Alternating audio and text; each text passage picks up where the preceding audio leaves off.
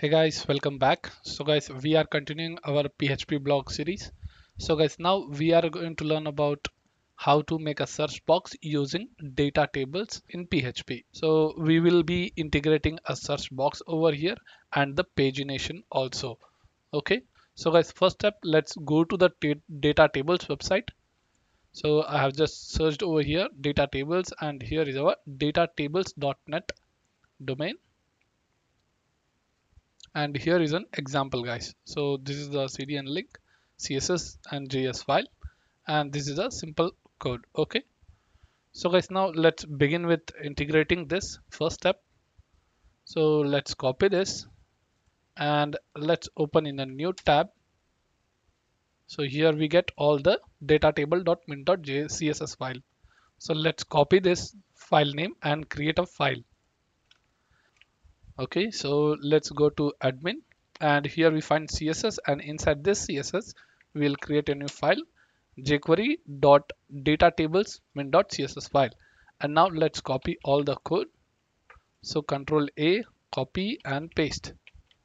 All set. So we have done with the css now let's move on with the js file. Okay so there is some this is another one. I think we got this from the admin dashboard I mean template part. So let's delete this. We don't require it. So yep. So now guys let's uh, get back and yep let's go to data tables. And here you find the js file of data table. So let me just paste that and paste here. Okay so this is our data table main.js file. Let's copy the url i mean file name and create that file name over here. Yep and let's paste the code. So control a copy control c and paste it. All set. Save and close guys. So to run the jquery file you need a jquery cdn link okay? So let's just search for that. Okay so here we find releases.jquery.com and here you can get the minified version. So let's copy the cdn link link of it and let's paste here and see the code. Okay. So let's create this copy and create the file.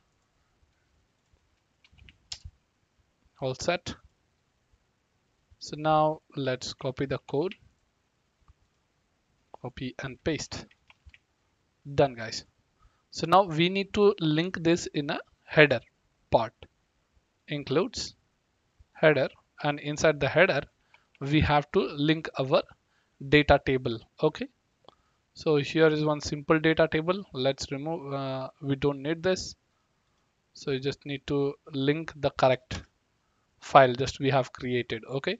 So inside css folder forward slash your jquery dot data table.min.css file. So let's paste here and it should be after your style.css. So after your style.css, let's paste this data table.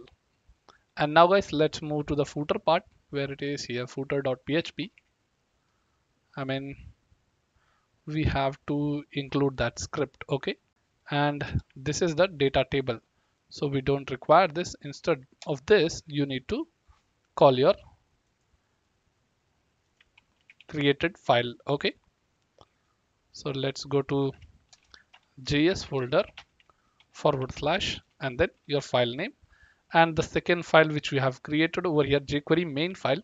So let's copy that file name copy and paste here. So this jquery live link will remove it and we'll just paste that. All set so this is all about setting up your data tables okay? So one one is css and one is js file setup. So now guys uh, let's move to our category page. I mean which page? We have to link on this category view.php so let's move to category view.php and this is our table. Done. And on this table we have to give the code so let's see the demo. Here you find this copy and get back to your script.php file. And after your data tables let's paste that. So script tag and paste the code. And now guys this my table. Okay your my data table. Let's mention this. Copy it and it's in a hash so we have to call as id so let's go in the table and id is equal to double quotes and paste that id that's it. So now guys uh, let's see the output for this. Save and make sure you have included your file. So my script is included and header also is included over here. All set? So yep and now let's refresh. So here you see that we have successfully integrated our pagination search box. Okay. So if you search for php php here you get php let's go for laravel. So here it works. So guys now uh, we want this table to be designed very nicely. So you can just go to this data table and move on example over here and just move on the styling. Okay on the styling you can go below and here you find bootstrap 5 okay so let's click on that and just you can see the design. So let's use this design. So over here your javascript and css files is given. So as you can see that we have already included this file. This is your jQuery CDN link but this is 3.5 but we are accepting with the 3.6 latest version. And this is your data table min.js and this is the bootstrap one which is final.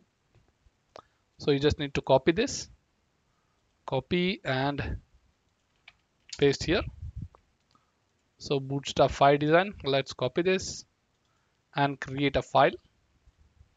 Inside js let's create one new file with the name data table bootstrap 5 min.js let's copy the code and paste. And let's close. Let's copy the file name and include in the script.php let's go. And after this data table let's include that. Okay copy and paste. Let's add it. All done. Let's remove this. Not required. So we are directly having that file perfect. So now guys uh, we have included the js and let's check with the css so we are done with the javascript part and now css over here you can see that the first link uh, is the normal bootstrap cdn link which we already have by default in the template. And here you find that database bootstrap i mean data table bootstrap. So let's copy that paste copy this file name and create a css file. All set. So you can just copy the code and paste here. Let's close this file. Copy the file name and paste in a header.php after your data table css copy cut and paste. All done so now guys let's check the output over here. So refresh. So you can see that design has changed over here perfectly. So guys same condition you are going to paste with the post also okay? So view post. If you want to you can just integrate that. So it doesn't take much code. Just go to post view. Let's move to post view.php and you just need to add one id that's it id is equal to so what id you have given for your data table? It's my data table okay? Paste that and refresh. Cool. So you can see guys all data has been fetched correctly and here search bar works. So so guys in this video that's it. We have successfully learned how to integrate a search box and pagination using data tables okay So guys, thank you for watching this video. Please subscribe, like and share.